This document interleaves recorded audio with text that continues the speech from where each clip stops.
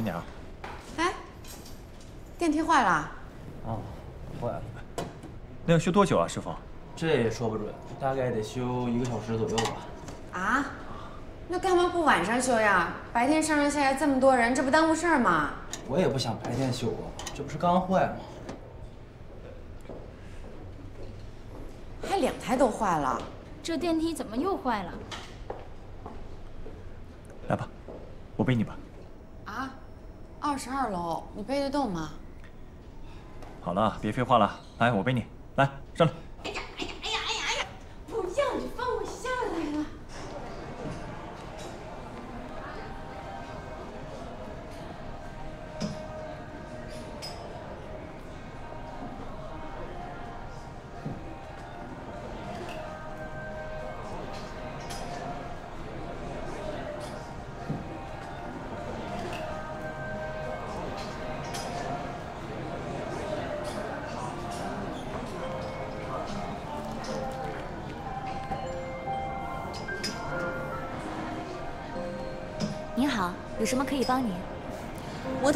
款连衣裙，我想拿来试试。不好意思啊，这是今年的新款，已经没有了，需要从意大利订货，十天左右。这款卖的这么好吗？嗯，特别好。我们店里的衣服啊，基本上到货就会被抢光。你要是喜欢的话，那边还有一款裙子，您要不要试一试？不用了，谢谢。好的。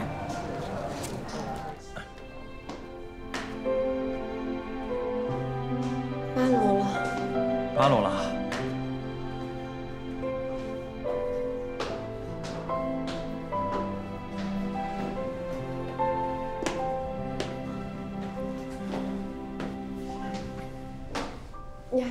住吗？可以啊，没问题。没事吧？等会儿。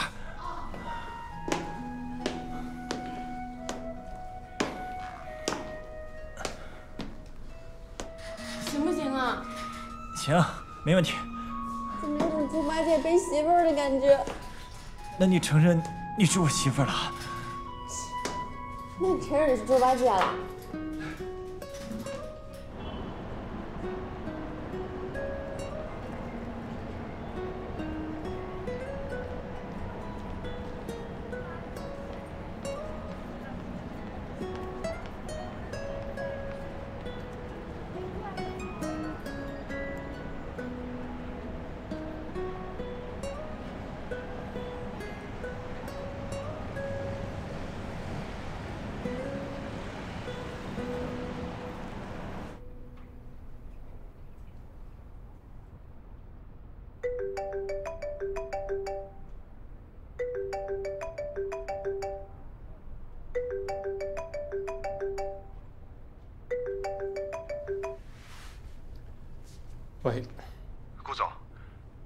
再给您最后一周时间，一天都不能多了。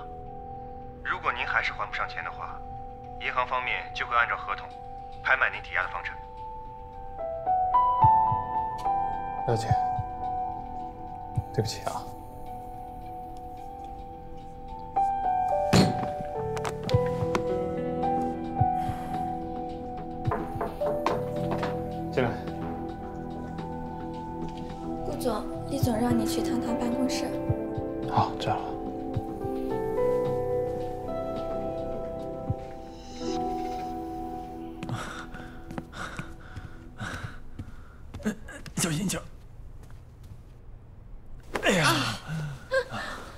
你没事吧？啊，我 没事。没事没事。哎，脚。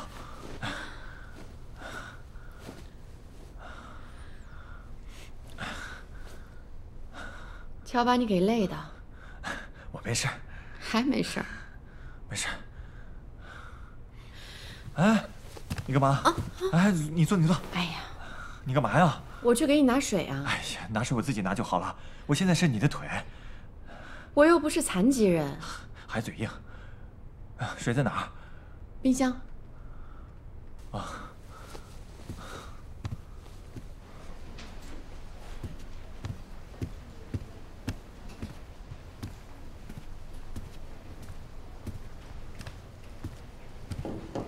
你找我？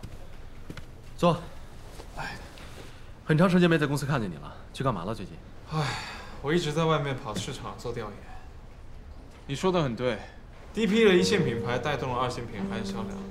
现在 DP 的整体销售量回暖，但新宝类销量也下滑的很严重。因为凯佑在照顾 Grace，根本无心照料公司。Grace 受伤的时间也太巧了点，这可能跟 Peter 有关。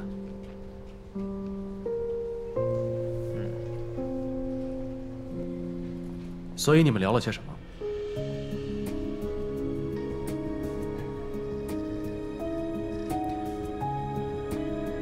叶芝，我很信任你，所以我不想问那么多。Peter 的为人，你比我更清楚。我有分寸。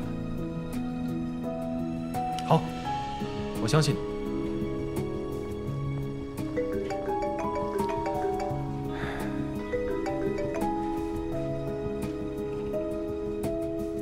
喂，啄木娘。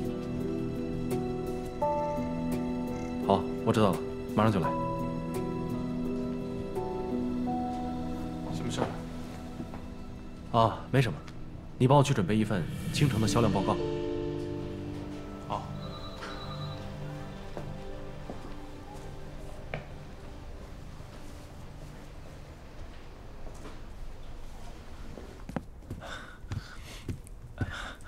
来，你喝啊，我不喝，你喝吧。啊，你不喝？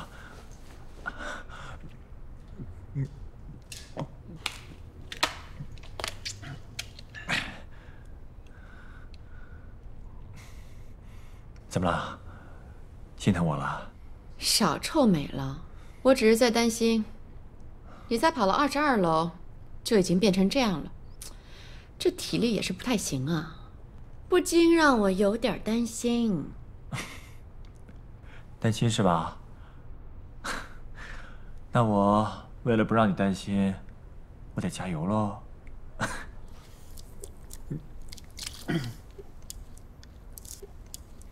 你干嘛笑那么诡异？啊！你别闹啊！七个，七个。嗯哎 哎，怎么了？你碰到我脚了。没没事吧？来来来，这样好点吗？嗯。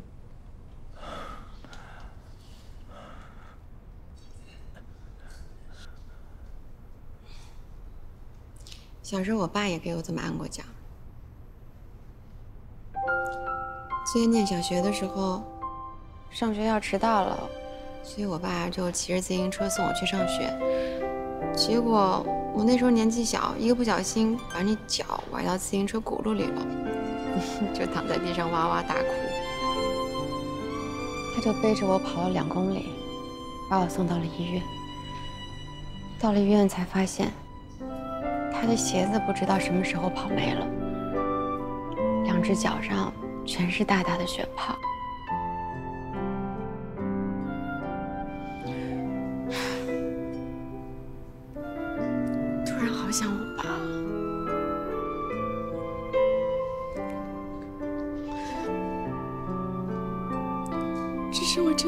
机会再看见他。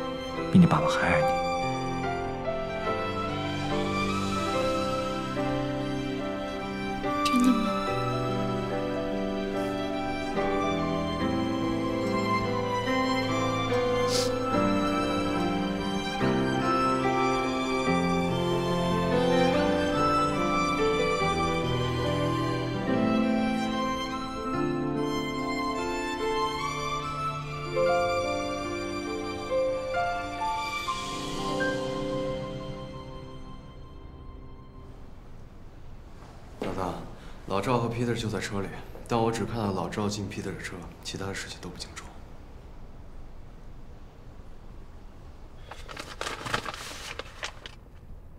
我们说好的是三万啊，两万已经不少了。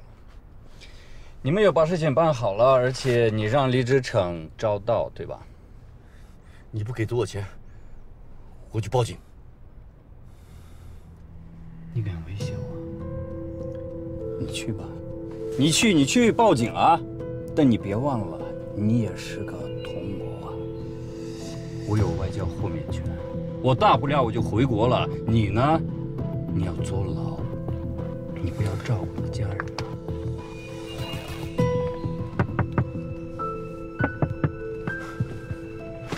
李总，李总，我我我没收这个钱，李总，我我我错了，我错了，对不起啊，李总。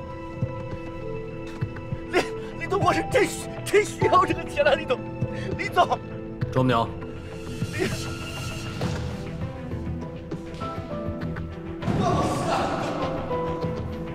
下车。你将会收到一张法院的传票，关于非正当竞争。如果你是个男人，就光明正大的竞争，别在背后里耍那些下三滥的手段。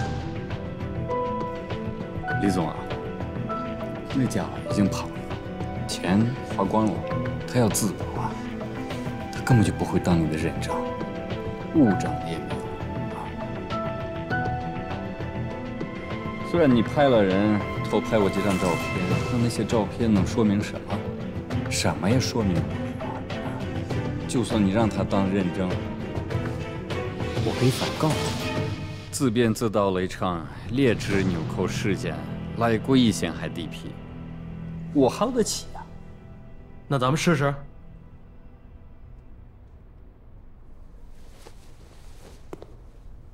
李总啊，其实咱们真的不要这样，我们可以成为合作者。你不要以为我抄袭你女朋友的设计就给我反了，太意气用事，太幼稚，不像做大事的人所为。嗯，你想光明正大的进展，可以。你把青城和学院岭卖给 DP，这样你可以保住你的文达，否则 OK，抄袭服装设计，买通我的员工，掺杂劣质纽扣，三番五次的来我店里捣乱，派人弄伤 Grace。李总啊，你的想象力太丰富了。你小心，我告你诽谤。你刚才所说的都是想象。我告你一个事实啊，青城成山销量严重下滑，青城在你们的手里就是浪费，在 DP 的手里才能获得成功。要不然，青城和温达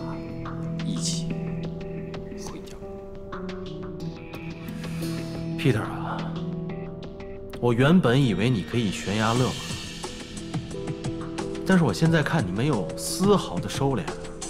好，我告诉你结果：温达和倾城会很好，思美琪和辛宝瑞也会很好，而 DP 会从中国市场彻底消失。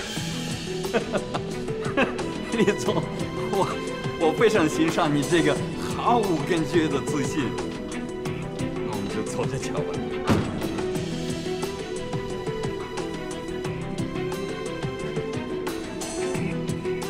回去买一本 H 杂志啊。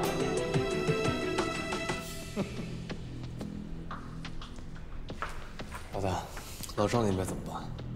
先不用追他，他受到惊吓了，应该是被 Peter 威胁的。过段时间再说吧。去买本 H 杂志。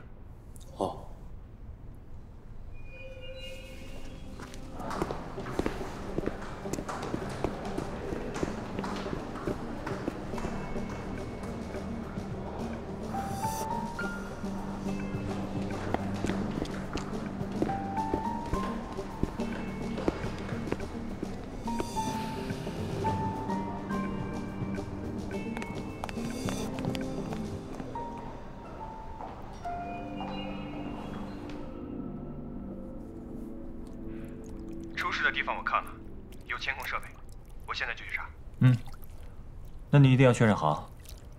如果是不小心推下去的也就算了，如果是故意推下去的，那事情可就大了。明白。一有什么情况，一定要跟我汇报。好。嗯，那就这样。嗯，把酒拿来。来，拿热毛巾敷一下。不是应该冷敷吗？你刚崴的时候得冷敷，你这会儿得热敷了，热敷才能消肿。懂得还挺多。嗯。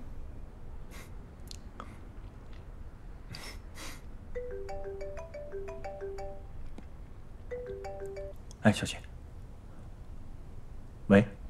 魏凯，你赶紧回公司一趟。怎么了？马上回来，别问那么多了。好，知道了。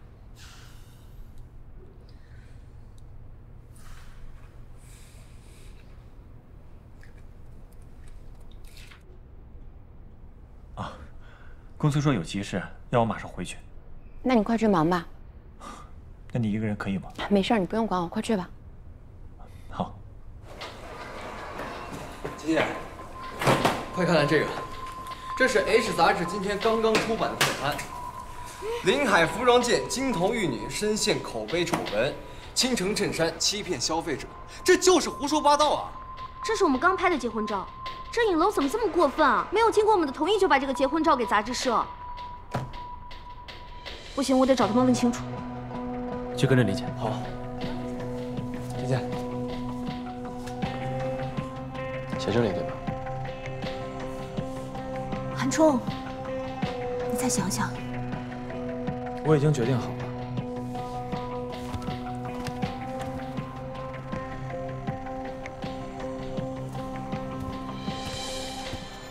这是在干什么？他要把自己在新宝瑞的股份卖掉。您好，我是律师王东，祝先生已经全权委托我负责这起交易。祝寒忠，你真的决定要把新宝瑞卖掉？新宝瑞现在的销售业绩这么低，我相信 DP 的市场份额将会急速扩张。你看看全中国传统服装零售企业，有几个做得好的？所以我还不如把股份变现，做一些我自己喜欢的事情，像手机游戏、物业、物流之类的。你，你知不知道新宝瑞是咱们出家的第一个公司啊？你知道新宝瑞这三个字意味着什么吗？姐，你也不用跟我说什么情怀的。我对新宝瑞呢没什么感情，我说了也不算，所以我要这些股份干嘛？你别忘了你姓祝啊！我没忘我姓祝，但是现在新宝瑞不归姓祝的管。祝寒冲，我请你冷静一点，好好想清楚了。金宝瑞不是钱的问题，这是董事长生前的心血。你要是缺钱的话，可以跟我说，我可以帮你想办法。我不缺钱，这是我的权利和自由，对吧？这韩冲，我真的没有想到你这么不孝顺。咱爸前脚才刚走，你现在就要把咱们新宝瑞的股份卖掉变现？姐，你总说我一事无成，现在我想做点事情，你又这么拦着。我现在的一事无成，都是因为你们。你，这件事我已经决定了。朱寒冲，你要是敢卖新宝瑞，你就别认我这个姐。姐，你怎么就看不清楚呢？如果我现在不变现，等到时候新宝瑞完蛋了，我的股份就一文不值了。你说什么呢你？再说一遍。姐，你冷静一点。当时不是你教我的，在商场上不能感情用事。可是你现在呢，就是在感情用事。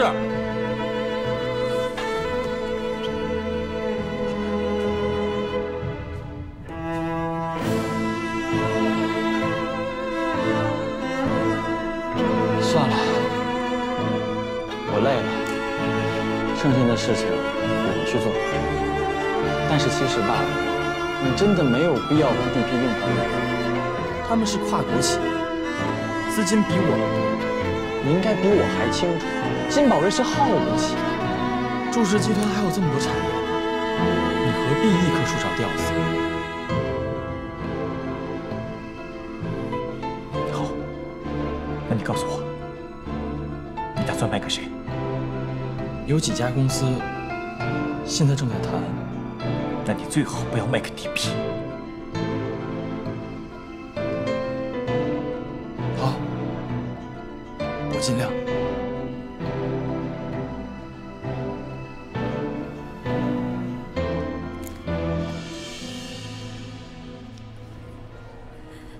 我真没用，我没能阻止韩冲卖掉辛宝瑞的股份。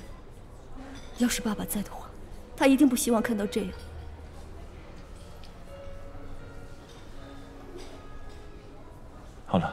你也别太难过了。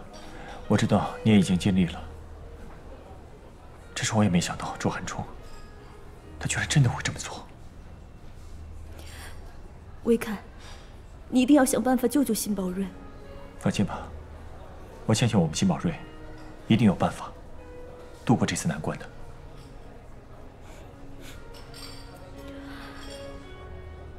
你今天没来公司，去哪儿了？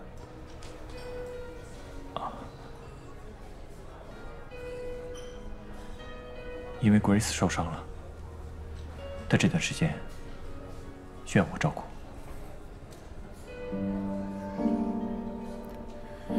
这个我不关心，我关心的是，今天早上我们跟 DP 同样推出设计师限量款，DP 的门店早上五点就有人排队，而且还有了黄牛，可是我们的门店却无人问津，他们的 Royal 高端系列已经对我们的新宝瑞市场造成了很大的冲击，而你在这个时候却不去想办法商量对策。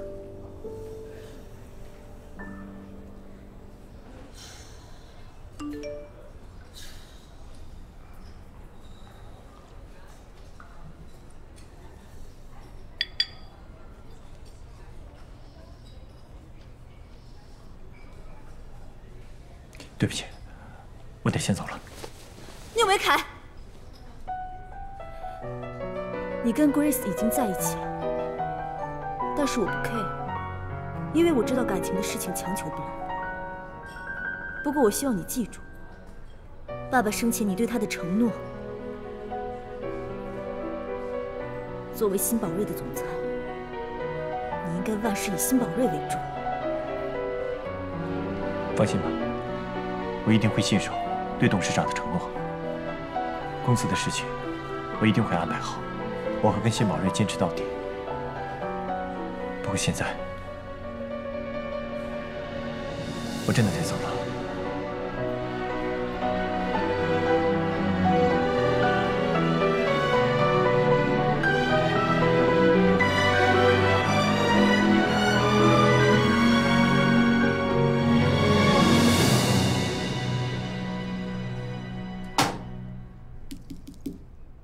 什么意思？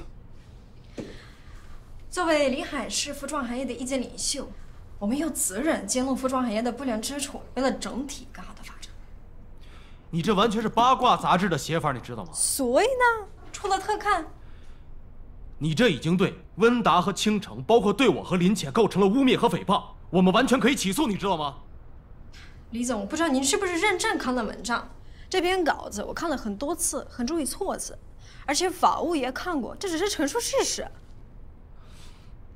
Lisa，我奉劝你一句，离 Peter 远一点。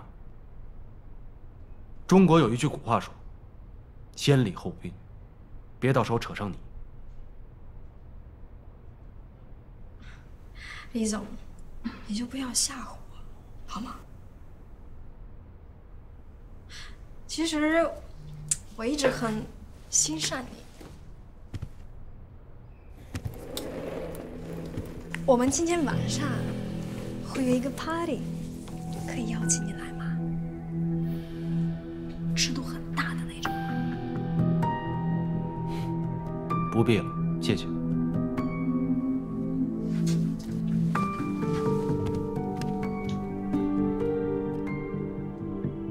我已经拿到了周凡冲在新宝瑞的股份，给你的价钱也很高啊，我没有任何理由拒绝。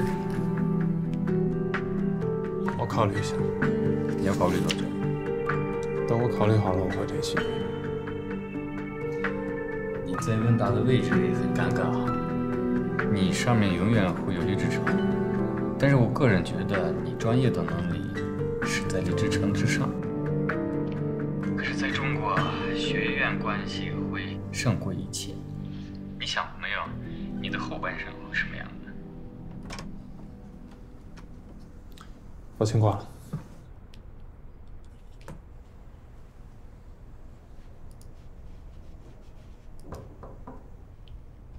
啊，来了。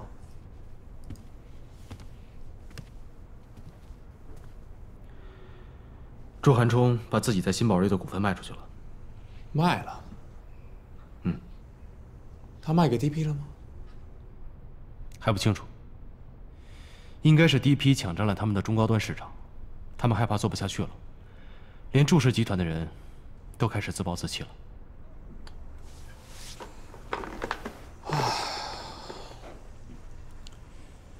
其实啊，股份这种东西，如果不变现的话，它永远都只是一个数字，忽高忽低的，还不如把它变成车子和房，又或者是另外一份事业。你说这话什么意思？没有，我只是感慨一下。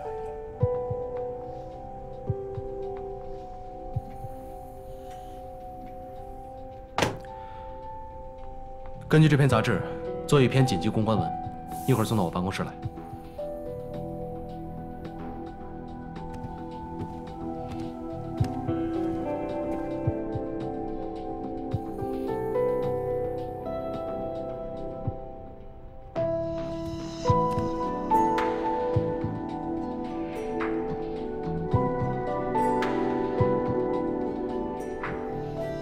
你想过没有，你的后半生会什么样的？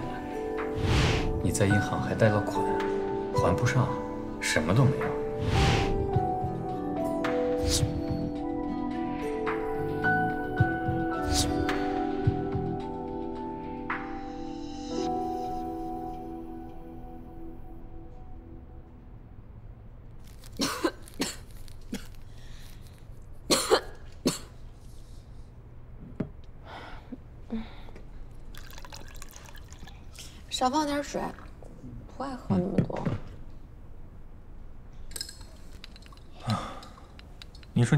冒了？谁让你出门的时候不把空调给我打高一点啊？哦那是我不好。来，把药喝了吧，喝了就好了。嗯，一会儿再喝吧。你不喝药怎么好啊？快喝吧。烫。那我帮你吹吹。哎，你说那祝寒冲也真是太不靠谱了。我觉得他压根儿就不知道他把股份卖掉意味着什么。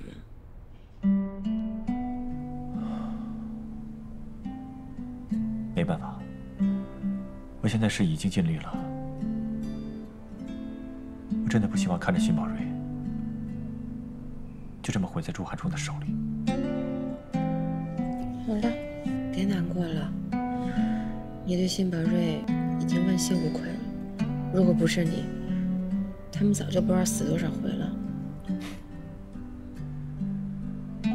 其实我觉得像你这样也挺好的，偶尔放空一下，什么都不用想，也不错。那当然了，本来就应该这样。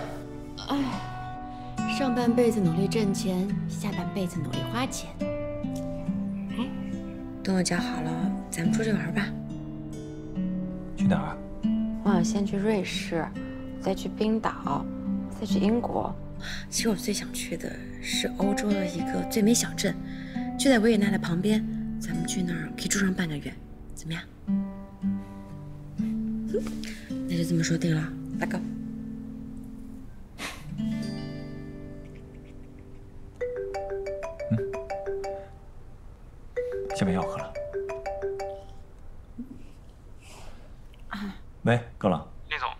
我看到视频了，怎么样？我确定是有人推了格瑞斯下楼。那视频能拿到吗？视频我拿不到，即使拿到了也没有用，因为图像很模糊。而且那个人还戴着帽子，我看不清楚他的脸，但是动作非常的清楚。我确定是他推格子下楼。好，我知道了。怎么了？高朗说他看到监控录像，他确定你是被人故意推下去的。什什么？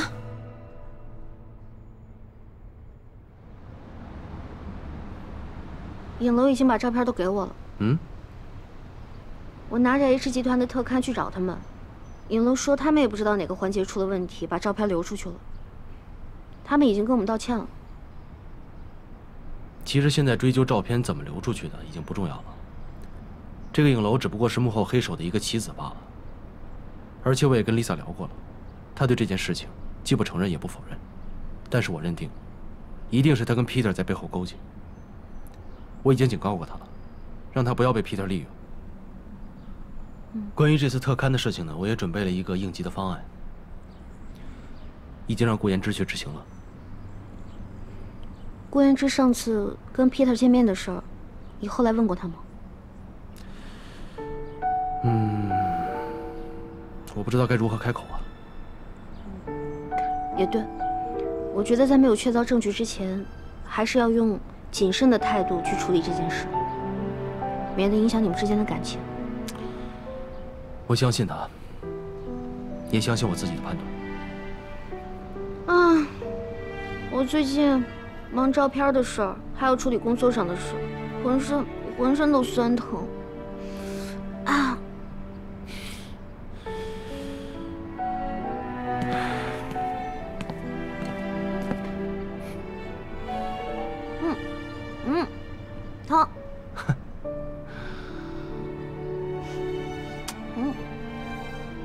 子脖子。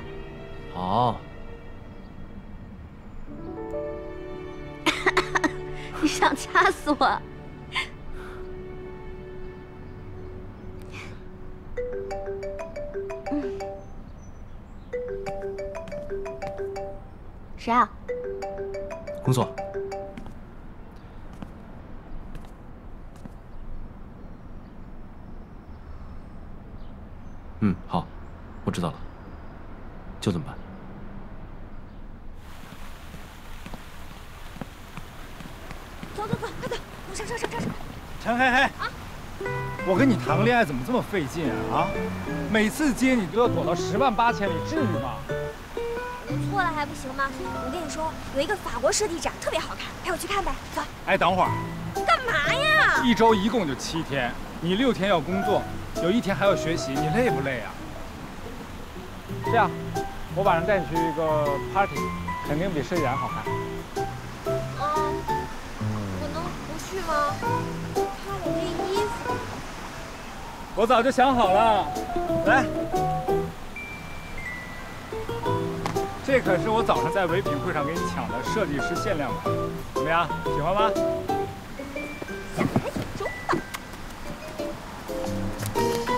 走吧。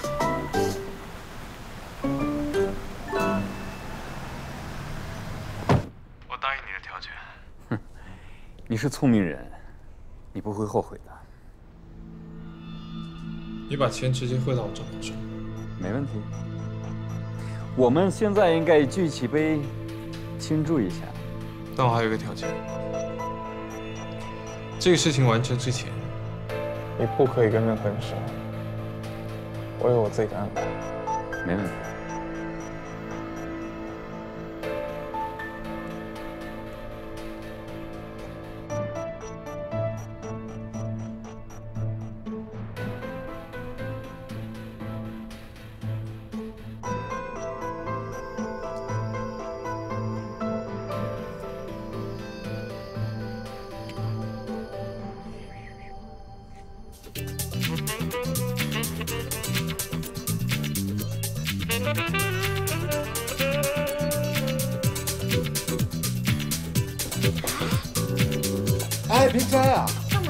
这是面具趴，摘了就不好玩了。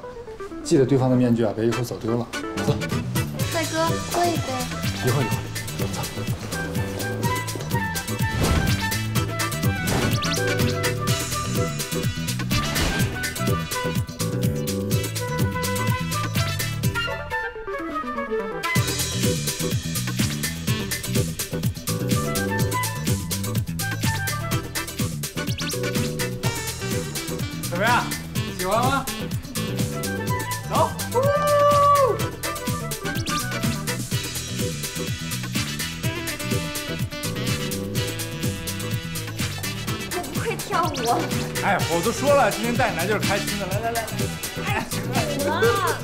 欢吗？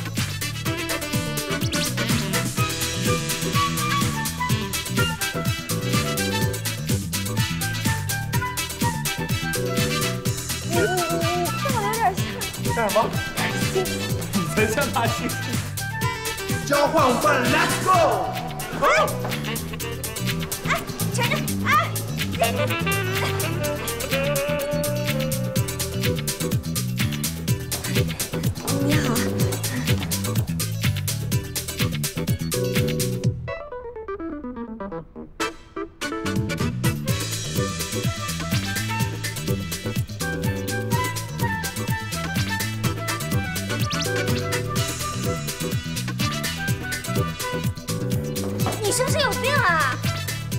什么期望？继续玩呗。陈真，你少跟我动手动脚的，玩没有病吧？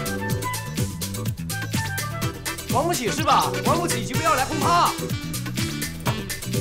对，我还就是玩不起了。什么？你干嘛呢，心雨？陈真啊，这是你带过来小姑娘是吧？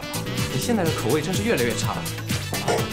怎么说话？说话注意点，玩你的。哎，雅怡，雅怡，雅怡，雅怡，你干嘛去？那个人我都帮你解决掉了。帮我？不是，你也够猛的，一杯酒给人家泼够呛，不愧是我陈真的女人，是吧？面具趴好不好玩？刺激吧？是啊，特别刺激。戴上这个面具以后，所有人都不认识你，你可以跟多个姑娘在那蹭来蹭去，多刺激啊！啊，多开心啊，对吧？你怎么这么小心眼啊？我不是看你最近工作生活压力都太大了，想带你过来放松一下吗？那面具趴，只有戴上面具之后，才能释放真实的自我。你就说刚才那就是真实的自己是吗？我以为咱俩在一起以后，你会变得跟原来不一样，怎么还是老样子？哎，你干嘛去啊？你要不喜欢这儿的话，我们可以换个地方玩啊。玩？你脑袋里一天到晚想的都是玩啊？你觉得两个人谈恋爱就是这样随便着分享着玩吗？那当然是要分享了，我要跟他们讲你是我的女朋友啊。陈真，我告诉你，在我这儿谈恋爱，这属于两个人的事儿，不是你习以为常的多人娱乐。如果你喜欢众多姑娘围着你，那是你的事儿。我就想让我的男朋友紧紧的拉着我的手不放，你懂吗？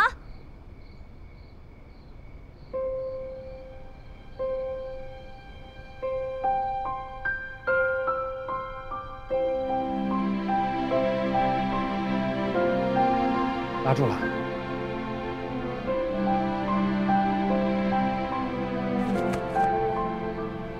刚才在舞池，你已经撒开了我的手，现在再拉都没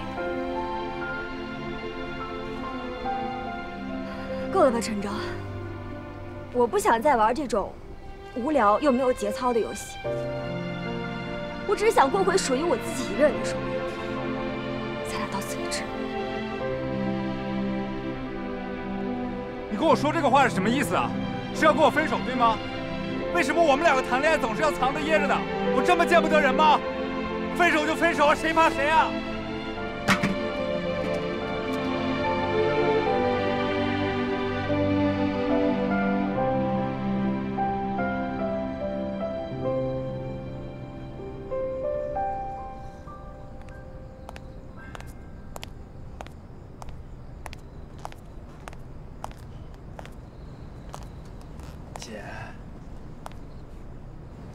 你回来干嘛呀？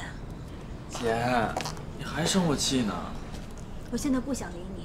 不是，姐，你真的不该生我气。我觉得我这么做没错。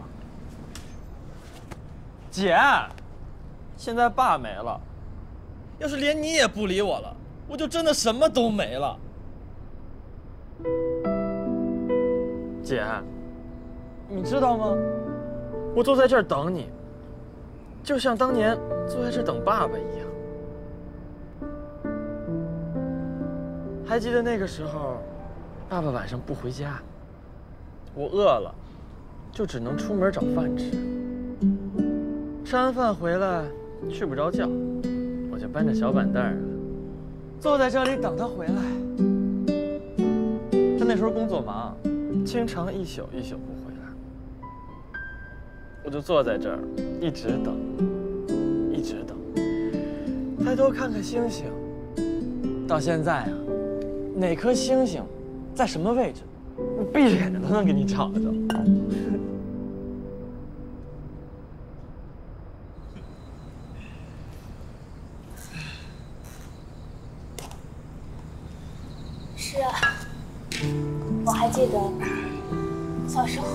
每次你都会坐在门口等爸爸。爸爸不让，他老是打你。是啊，小时候啊，总挨爸揍。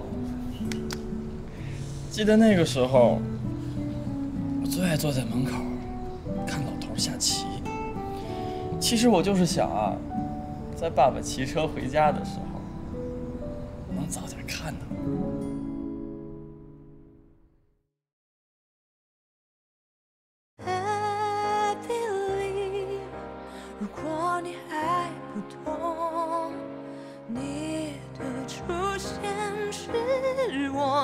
最美的感动。I believe，不管多久以后，